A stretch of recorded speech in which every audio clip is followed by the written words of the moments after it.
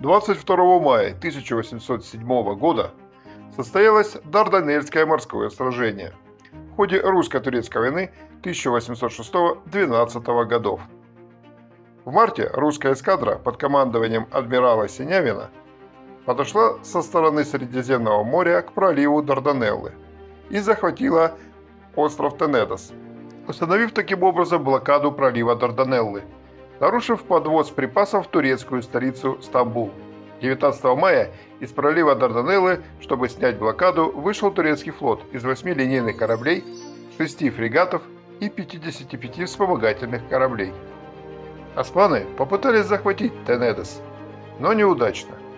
22 мая Синявин, имея 10 линейных кораблей и один фрегат, сам атаковал турецкий флот и одержал победу – Турки, потеряв три корабля, отступили обратно в пролив.